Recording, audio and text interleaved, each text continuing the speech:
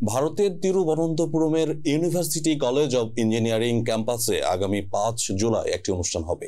আর তাতে আমন্ত্রণ পেয়েছিলেন বলিউডের item girl Sunny Leone social media সহ বিভিন্ন মাধ্যমে এই খবর ছড়িয়ে পড়তেই ওই অনুষ্ঠানে বলিউড তারকাকে অনুমতি দেওয়া হবে না বলে জানিয়েছেন কেরালা বিশ্ববিদ্যালয়ের vice chancellor doctor Mohanan Kunnummal.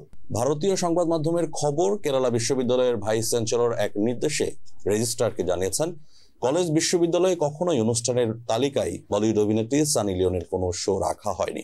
এর আগে গত বছরের নভেম্বরে এর্নাকুলামের Cochin university of science and টেকনোলজিতে নিকিতা গান্ধীর এক অনুষ্ঠানে পদদলিত হয়ে প্রায় ষাট জন মানুষের মৃত্যু হয়। কেরালা হাইকোর্ট এই ঘটনার পর জানায়, বার্ষিক অনুষ্ঠানে পদদলিত হওয়ার ঘটনাটি স্পষ্টতই কিছু ব্যর্থতার কারণে হয়েছে, যা হওয়া উচিত হয়নি। আবার রাজ্য সরকার ক্যাম্পাসে বহিরাগত ডিজে পার্টি ও মিউজিক নাইট নিষিদ্ধ করে। এদিকে ভাইস চ্যান্সেলর জোর দিয়ে বলেন, এই আদেশ থাকার পরও বিশ্ববিদ্যালয়, কলেজ, ইউনিয়ন বিশ্ববিদ্যালয়ের অনুমতি ছাড়া অনুষ্ঠানের আয়োজন করার চেষ্টা করেছিল। ইউনিয়নের নাম ব্যবহার করে কোনো অবস্থাতেই ক্যাম্পাস বা ক্যাম্পাসের বাইরে এই ধরনের অনুষ্ঠান করা যাবে না।